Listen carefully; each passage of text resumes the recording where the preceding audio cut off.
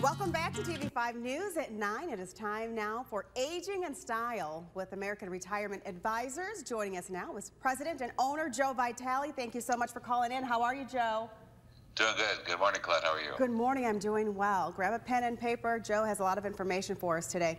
So, Joe, you're always here giving us that important information on retirement. But if you at home Want to hear more from Joe? I know you do. Be sure to grab your phones and scan the QR code right there on your screen to subscribe to his newsletter. It's called Financial Vitals, where you can stay tuned in to the very latest financial news and market updates. Now on to today's topic, inflation. Oh my goodness, and the Fed's rate increase. So Joe, the Fed's half point increase is the largest bump in more than two decades. That increase is a response to our current bout of inflation. So what does that mean, Joe, for credit card users?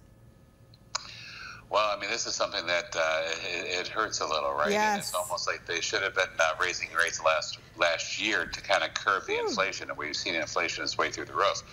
Uh, but right now, what, what that means is, you know, credit cards. When you get in the credit card debt cycle, and you're at 15, 20, 25 percent, I mean, there's a maximum they can raise the rates. But the problem that we're finding is. Mm is it's hard to get out of that hamster wheel yeah. when you get in that credit card hamster wheel because you pay the minimum, the minimum, the minimum. You're not getting out of it. No. So you definitely want to look at the uh, the debt snowball that we do, like a Dave Ramsey SmartVest, or start trying to get rid of those credit cards as much as possible. You're not going to see a lot of it, zero interest as much, um, but you know, try to get rid of those credit cards, free up those as much as possible. Try to make sure you have your three to six month emergency cash on hand at all times because we're starting to see the spending. You know, the, the, the all this free money that's been going on for a long time is pulling back now. Um, you're also seeing things with inflation get more money, you, more expensive. You definitely need to have that emergency cash on hand yes. and uh, make sure you're you're going as lean as possible without a lot of debt. That's a great tip. Get out of that credit card debt. Don't use them if you don't have to. That's for sure. So, Joe, what about for home buyers and homeowners?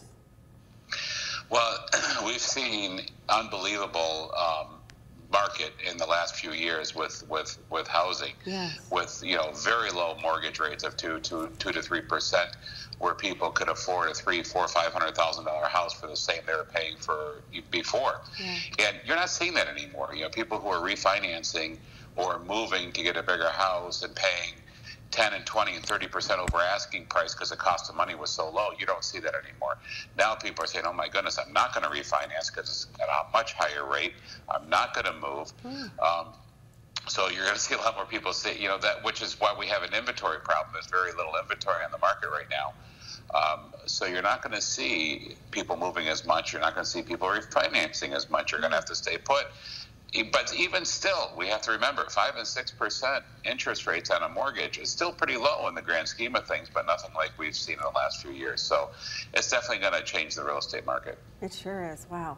So Joe, I love this because you always talk about making money work for you. Perfect. I love to hear that. So do you recommend that people who utilize savings accounts for retirement actually invest at this point?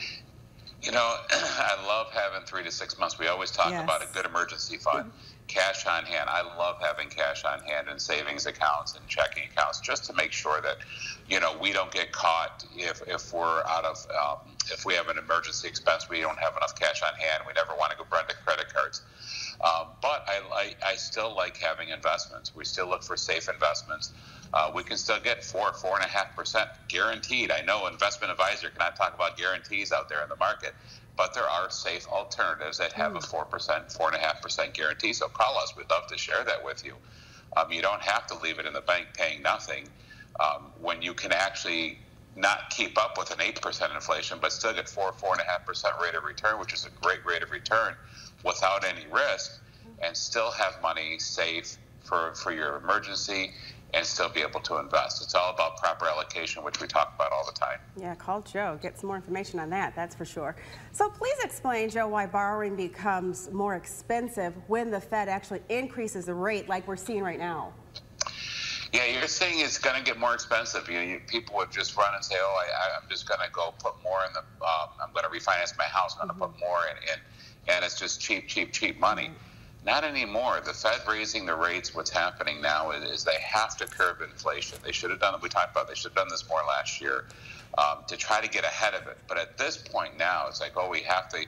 We, ha- we can't go into a recession. Well, we're kind of already there. You're starting to see the softening. Whenever you see the softening, um, that's going to happen. The difference is right now, you are seeing that um, there's still a lot of jobs out there, which is great, right? Yes. People are still hiring like crazy because the job market never came back.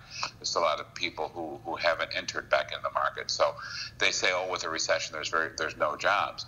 You know, we're, we're, we're on the brink right right now, and I think um, borrowing is more expensive because the interest rates are going up, uh, and that's what we talk about. Don't run to borrow as much as mm. possible. You know, you're starting to see people just try to, you know, in order to get through this, Yeah. we it, the spending has to come down, hmm. but people are still going to be consuming. So consuming, we're still going to see profits. We're still going to see money into the economy, but we just have to pull back a little bit with with the interest rates the way they are. Great tips. You're getting us on the right track today, Joe, that's for sure. So, do you recommend, let's talk about stocks a little bit. Do you recommend selling off stocks and transitioning to more defensive strategy right now? Uh, I, I love defensive strategies. Yeah. However, I, I'm not a proponent when the market's down 20 to 30 percent and you're already down 20 to 30 percent in your portfolio, or 10 percent depending how defensive you are. Not a big fan of selling off and and putting it into cash because you'll never make it back at this point. Uh, but I do love the defensive stock positions where we can get good dividend paying stocks. Maybe we're down 15 to 20 percent in some of these portfolios, but because we have those reoccurring dividends, that's going to help get us back up quicker. That's also going to provide three to four percent income. Where if we need income in retirement, we don't have to sell a stock. We just live off the dividend yield, and that money will come back. Remember, the economic cycle is every eight to ten years. We're going to have growth and prosperity. Then we're going to have a lull, a recession, a mild one, because we can't always go up, up, up, up, up. But we've had 14 years almost of positive growth, a bull run. We have to have this dip um, to get back up there. But in order to make it through that, we definitely don't want to sell stocks. We will get back up there. Again, look at defensive positions for some of the money with a guaranteed three, four, five percent rate of return, or three, four and a half percent rate of return. Look at defensive positions with stocks that are good dividend payers, and don't make knee-jerk reactions and, and panic right now. We just have to be properly allocated. Great advice. Joe, any last minute advice or message out there to friends that you want to wrap this all up in a nice bow for us?